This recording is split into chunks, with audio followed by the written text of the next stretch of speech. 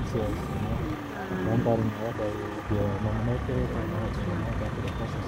Yeah, of course, I, I want to thank God for this time. Uh, the fact that I have been duly nominated, that is uh, the, the first thanks goes to God. And I want to thank the people of Koboko North.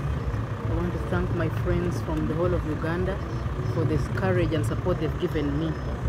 Uh, I come from a background where I went through a primary election that was uh, a bit violent, uh, especially my opponents were very, very violent. However,